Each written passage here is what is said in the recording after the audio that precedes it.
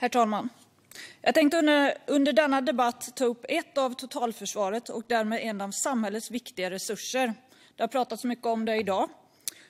det är en organisation som är mycket aktuell och som är ständigt beredd att stötta samhället, nämligen Hemvärnet. Hemvärnet utgörs idag av cirka 22 000 kvinnor och män och de finns utspritt över hela vårt avlånga land.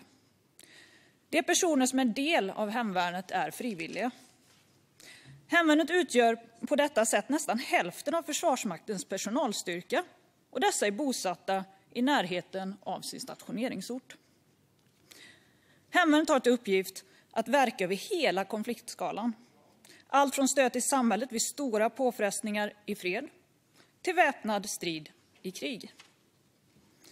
Hemvärnsförbanden är krigsförband med huvuduppgift att skydda, bevaka, ytövervaka samt att stödja samhället vid kris.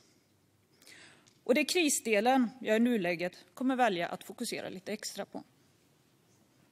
Om Sverige drabbas av naturkatastrofer, omfattande olyckor eller andra hot mot samhället är Hemvärnet med de nationella skyddsstyrkorna beredda att stödja polis, räddningstjänst och andra myndigheter.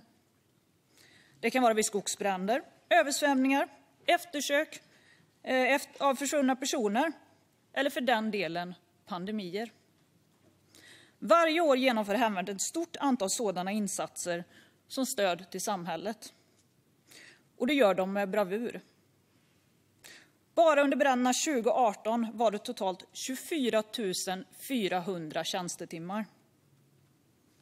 Det är dock viktigt att poängtera att Hemvärnets primära uppgift är inte att lösa andra myndigheters uppgifter. Men när det sker extraordinära händelser är det en stor resurs som finns gripbar på mindre än ett dygn och som på ett flexibelt sätt kan lösa många olika uppgifter. Herr talman! Sverige befinner sig i vad som kan utvecklas till att bli en av vår tids värsta kriser. Över hela världen och även här i Sverige har coronaviruset spridit sig de senaste veckorna. Många människor har smittats och insjuknat i covid-19, varav några har blivit så allvarligt sjuka att de har avlidit. Det är i svåra och krävande situationer som denna där hemvärnet kan nyttjas och på så sätt göra stor skillnad och en enorm samhällsnytta. Hemvärnets styrka är dess geografiska spridning och många olika färdigheter. Hemvärnet förfogar även över ett stort antal fordon och kan nå personer som är i behov av stöd. Detta även om det är svårtillgänglig terräng eller på en ö i skärgården. Hemvärnet kan även stötta samhället med bland annat transporter av material, vatten, livsmedel och personal. Herr talman! Sammanfattningsvis besitter hemvärnets personal djup kunskap, ett engagemang, en geografisk spridning och allt detta med kort inställelsetid. Egenskaper som gör att man har goda möjligheter att ge ett omfattande stöd till det civila samhället.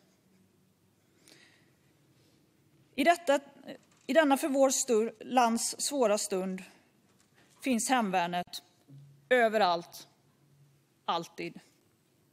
Vi sverigedemokrater motionerar även i detta betänkande FöU9 om att vi vill se en utökning av hemvärnet och en modernisering av det material och de fordon det förfogar över.